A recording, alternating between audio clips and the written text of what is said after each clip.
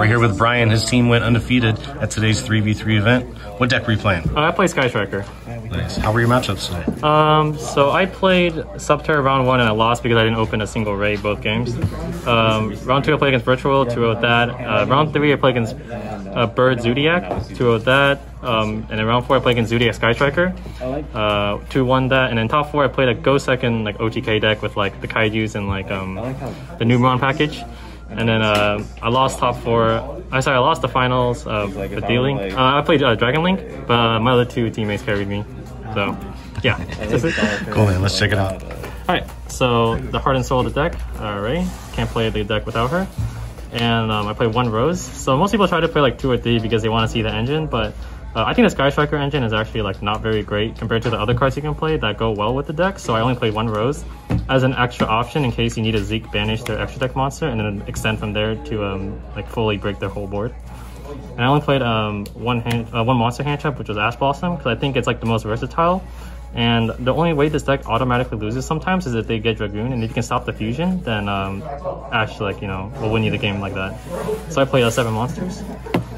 And then for the spell cards, I played three Widow Anchor, uh, two Area Zero, two Shark Cannon, uh, one Afterburners, one Hercules Base. So this card I think is actually really good because it helps you grind. And since I, I play Pot of Prosperity, so I will lose some links sometimes just to access my engine because since um, post engage ban, this deck has a really hard time finding Raye and exact the exact pieces you need.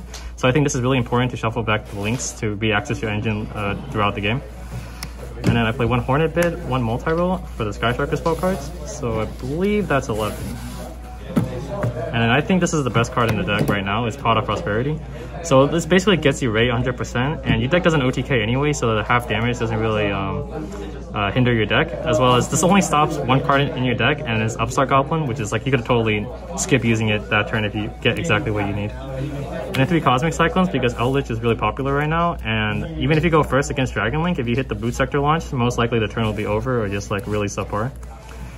And similar to like the Ash Blossom theory, I had two droplets for Dragoon because I don't want to automatically lose Dragoon. Even though I have some outs in the extra deck, this just makes it so much easier to beat like certain combo decks as well as Dragoon.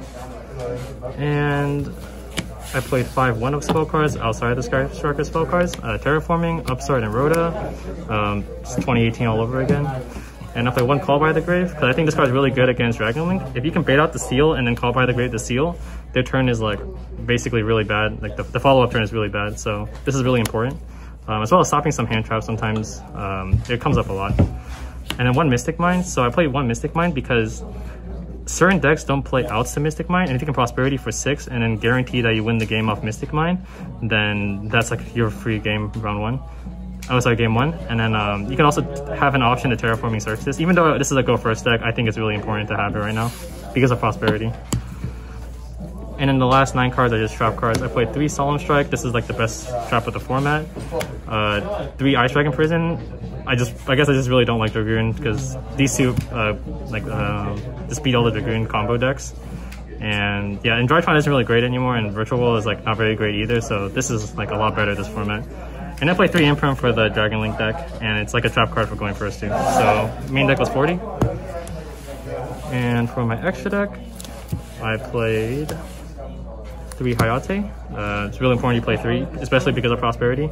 Uh, three Kagari, three Shizuku, uh, one Kaina, and one Zeke. I was thinking of playing two, but I decided just to have more utility in the extra deck to play with, so this is just a one Zeke, even though this is really good. Uh, one Halqifibrax to extend into Unicorns, so link up into access code sometimes.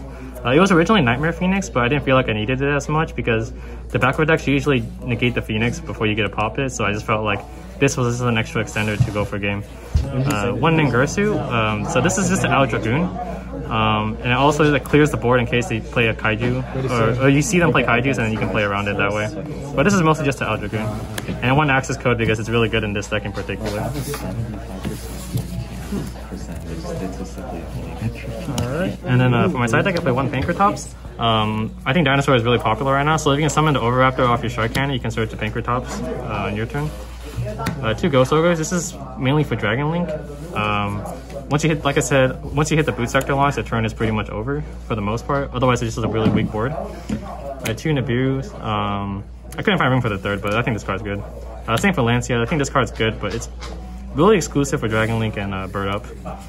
Uh, one Mystic Mine uh, to fill in the spot for the second one. I, I, use, I don't use it to win the game. I use it to like buy a couple turns because I also play uh, Metaverse. And I won a game earlier because I Metaverse into a board of monsters, and then he had to like do some you know really bad plays to like not automatically lose. So I really like Metaverse there. Uh, Feather Duster um, for the trap decks, and then two Twin Twisters also for the trap decks. Um, and the last card in my side deck was uh, Solemn Judgment. This is just to protect the Mystic Mine sometimes to buy me extra turns because um, this deck thrives when you have like extra cards in your hand. So yeah, and that's my side deck. Nice. Congrats, bro. Any shout outs tonight? Uh, yeah, I want to shout out my team, uh, Vi and Alex. Um, really carried me. um, I want to shout out my team, Team Royalty. Even though we haven't been playing a whole lot because of you know COVID and stuff, um, I really do feel like when events come back up, you know, we'll be ready. Hopefully.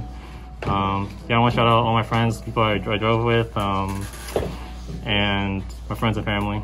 Yeah. Nice, man. Congrats, bro. Thank you.